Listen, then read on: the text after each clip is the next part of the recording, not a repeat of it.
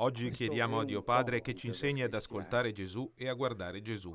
È il messaggio che Papa Francesco ha lasciato ai fedeli della parrocchia di Santa Maria dell'Orazione di Sette Ville di Guidonia, ad una ventina di chilometri da Roma, la quinta visitata in diocesi dall'inizio del pontificato. Ma il primo compito del cristiano è ascoltare la parola di Dio, ascoltare Gesù, che lui ci parla e lui ci salva con la sua parola e anche lui fa più robusta, più forte la nostra fede con, la, con quella parola. Tante cose ascoltiamo noi durante la giornata, tante cose.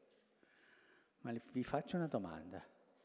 Prendiamo un po' di tempo ogni giorno per ascoltare Gesù, per ascoltare la parola di Gesù?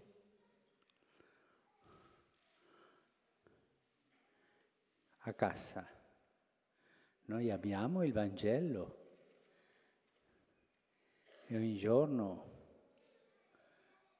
ascoltiamo Gesù nel Vangelo. Il suggerimento di Papa Francesco è lo stesso dato poche ore prima all'Angelus, portare con sé un piccolo Vangelo da tenere in tasca o nella borsa e leggere due paroline. Nella sua trasfigurazione, ha detto poi il pontefice, Gesù ci invita a guardarlo per purificare i nostri occhi e prepararli alla vita eterna, alla visione del cielo perché forse i nostri occhi sono un po' ammalati, perché vediamo tante cose che non sono di Gesù, anche sono contro Gesù, cose mondane, cose che non fanno bene alla luce dell'anima.